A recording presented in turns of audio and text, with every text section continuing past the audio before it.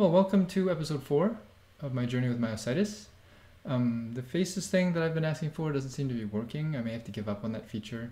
Uh, this is going to be the last week I kind of asked for faces, but I've decided to mix it up a little bit to see if we get more participation. Um, today I'm requesting faces of you or other people. Send me faces of people that are in your family. Uh, no disparaging faces, please. That's an inside joke that probably only two people will get, and I don't even know if they're watching the stream.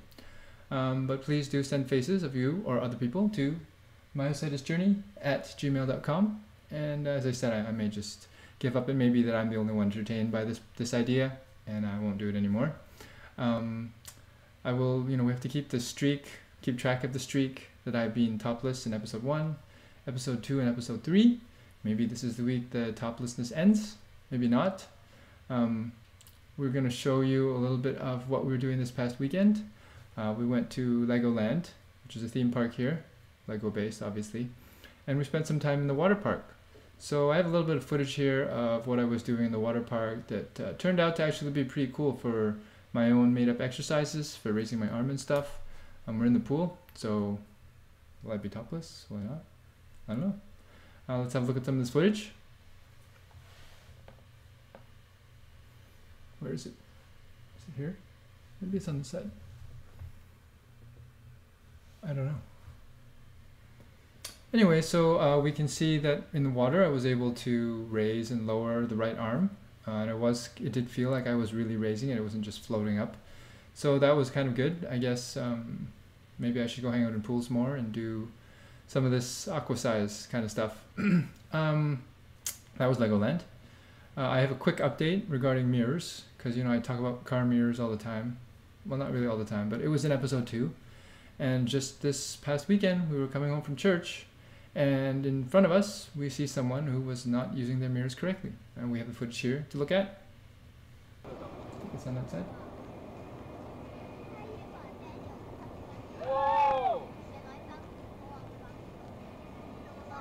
As you can see, that person was not using their mirrors correctly.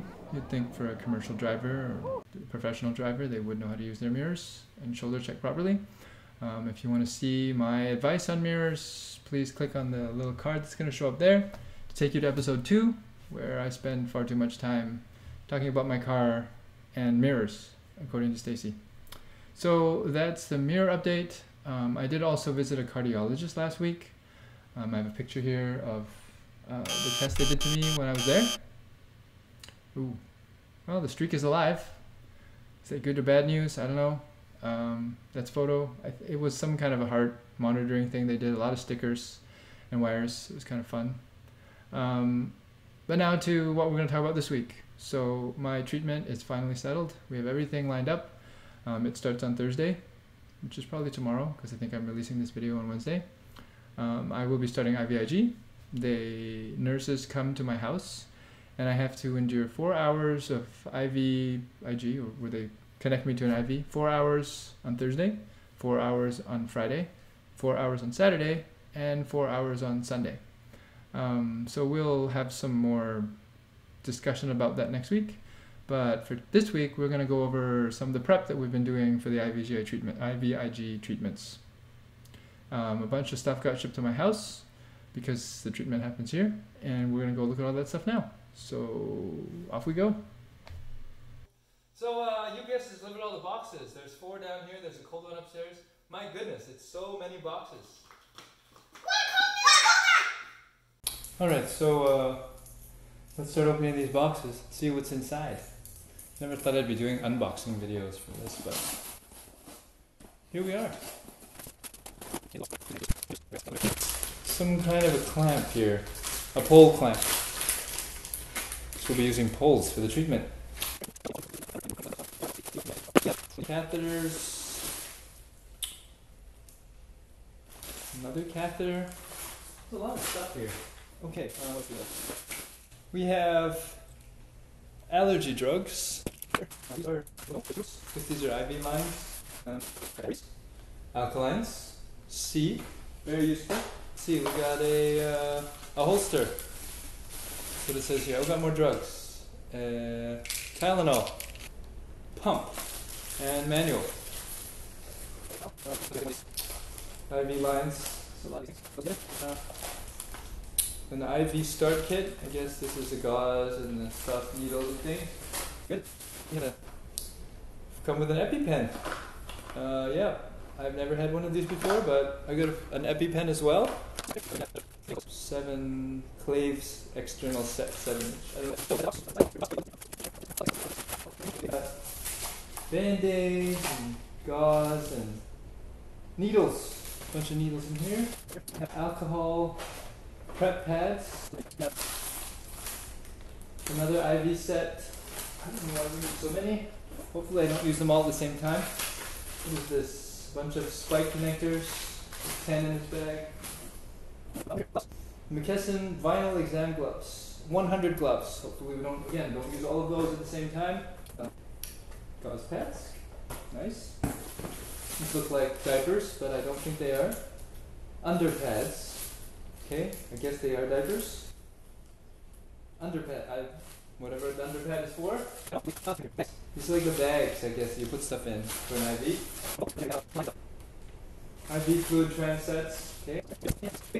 Uh, like the syringes with no needles, big syringes.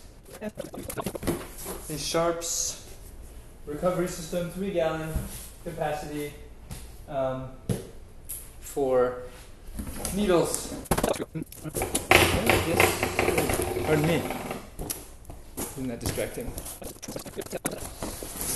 It's a pole. I think this is the pole. So this is all of the items that I've received. Pitch It Senior IV pole. Uh, and we'll see how that all that stuff goes, works together uh, next week. Whoops. Next week when I start my treatment. Great.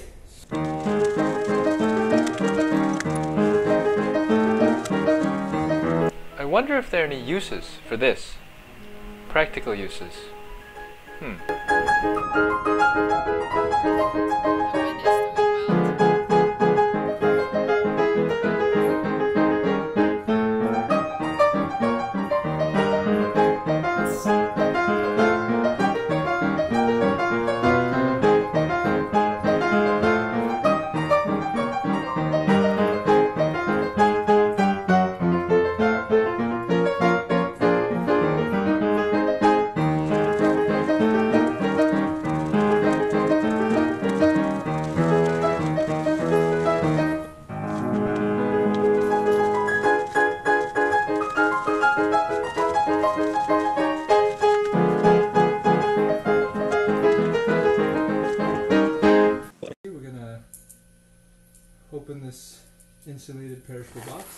Inside. These uh, Leatherman tools are really useful.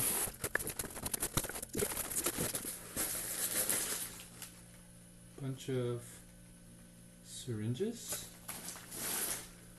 and more syringes. It's like a mini cooler, I'm saying. Oh. Got a gel pack.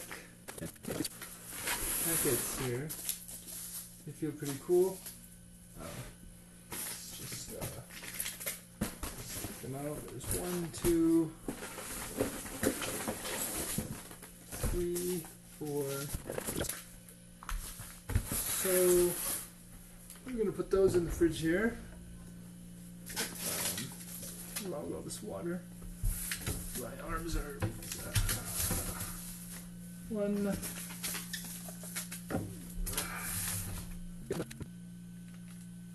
Guess we'll put these in the fridge too. Perfect. Well, looks like we're all set for IVIG. Um, starts tomorrow, like I said. I'm looking forward to it. Uh, we'll have some more updates next week to share with you. Probably some footage of what IVIG is like. It won't be four hours long, I promise, the video. Um, and yeah, we'll see you guys next week. Thanks for watching.